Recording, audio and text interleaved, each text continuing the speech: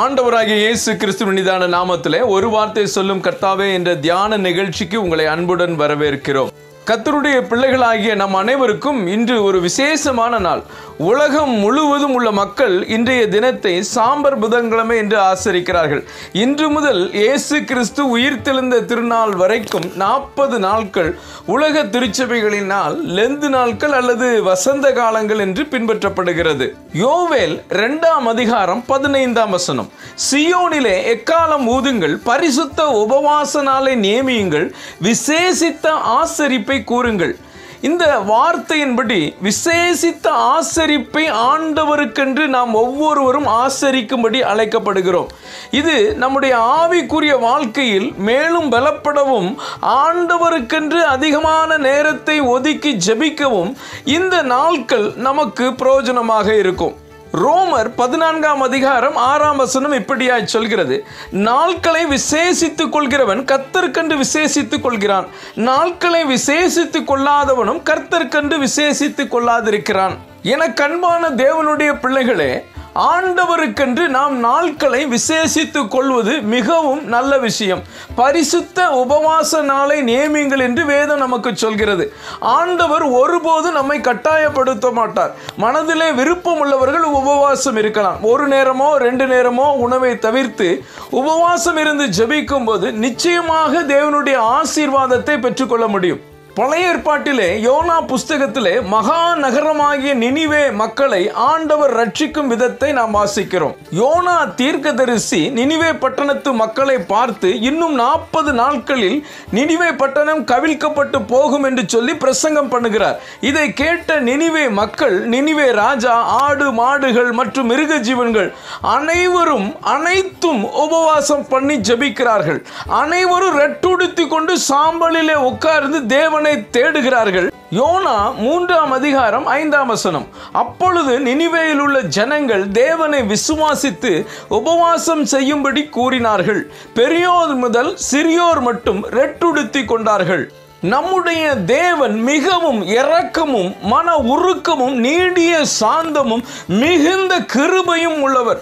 தீங்குக்கு மனஸ்தாபப்படுகிற தேவன் ஆண்டவர் நினிவே மக்களின் கூக்குரலை கேட்டு அவர்களுக்கு செய்ய நினைத்த தீங்கை குறித்து மனஸ்தாபப்பட்டு அதை செய்யாதிருந்தார். சில சமயங்களில் நம்முடைய குடும்பங்களில் காணப்படும் கட்டுகள் சாபங்கள் வியாதிகள் நீங்காமல் இருக்கும். அப்படிப்பட்ட சமயத்தில் தேவனுடைய சமூகத்தில் காத்திருந்து உபவாசித்து நாம் ஜெபிக்கும் போது ஆண்டவர் அற்புதம் செய்வார்.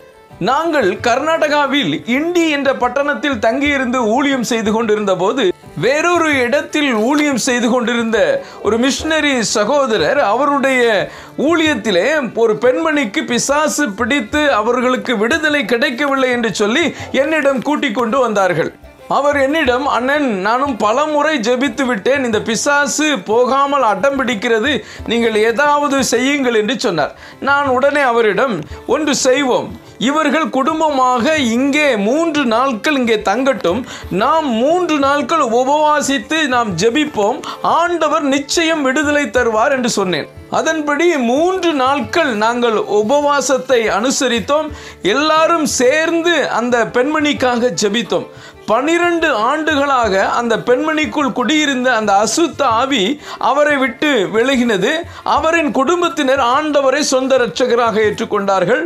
இன்று அந்த ஊரிலே இவர்கள் மூலமாக ஒரு திருச்சபை ஒன்று உருவாகியிருக்கிறது. கர்த்தர் பெரிய காரியங்களை செய்தார். இந்த செய்தியை கேட்டுக்கொண்டிருக்கிற எனக்கு அன்பான தேவனுடைய பிள்ளைகளே நாமும் ஆண்டவருக்கென்று நாட்களை விசேஷித்துக் கொள்வோம். நம்முடைய குடும்பத்தின் காரியங்கள் இதுவரைக்கும் நடக்காத விஷயங்களுக்காக உபவாசித்து நாம் ஜெபிக்கும் போது தேவனுடைய ஆசீர்வாதத்தை நிச்சயம் நாம் பெற்றுக்கொள்ள முடியும். இந்த ரெண்டு நாட்கள் நம் அனைவருக்கும் ஒரு ஆசீர்வாதமான நாளாக அமையும். கர்த்தர் உங்களை ஆசீர்வதிப்பாராக. ஜெபிப்போம். அன்பின் பரலோக பிதாவே இந்த நல்ல நேரத்துக்காய் நன்றியோடு துதிக்கிறோம் ஸ்தோத்தரிக்கிறோம்.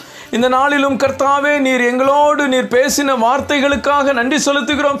பரிசுத்த உபவாச நாளை நியமியுங்கள். நாட்களை விசேஷித்துக் கொள்ளுங்கள் என்று சொல்லி எங்களோடு பேசினீரே கர்த்தாவே. நாங்களும் இந்த லெந்து நாட்களிலே உம்முடைய சமூகத்திலே காத்திருந்து ஜெபிக்கவும். உம்முடைய ஆசீர்வாதங்களை நாங்கள் பெற்றுக்கொள்ளவும் எங்களுக்கு உதவி செய்தரலும் துதி கன மகிமை உமக்கே செலுத்துகிறோம். இயேசுவின் மூலம் ஜெபிக்கிறோம் நல்ல பிதாவே.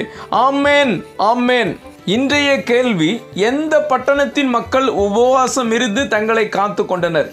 A Tarshish B Joppa C Nineveh D Jerusalem. நேற்றைய தினத்திலே கேள்வி நேரத்தில் கலந்து கொண்ட அனைத்து கத்தருடைய பிள்ளைகளையும் தினந்தோறும் தவறாமல் கத்தருடைய வசனத்தை கேட்டு வரும் கத்தருடைய பிள்ளைகளையும் கர்த்தர் தாமே ஆசீர்வதிப்பாராக. இதுவரைக்கும் நம்முடைய சேனலை சப்ஸ்கிரைப் பண்ணாமல் இருக்கும் கத்தருடைய பிள்ளைகள் தயவு செய்து சப்ஸ்கிரைப் பண்ணிக்கொள்ளுங்கள் கர்த்தருக்கு சித்தமானால் மீண்டும் நாளை நாம் சந்திப்போம். கர்த்தருக்கே மகிமை உண்டாவதாக. ஆமே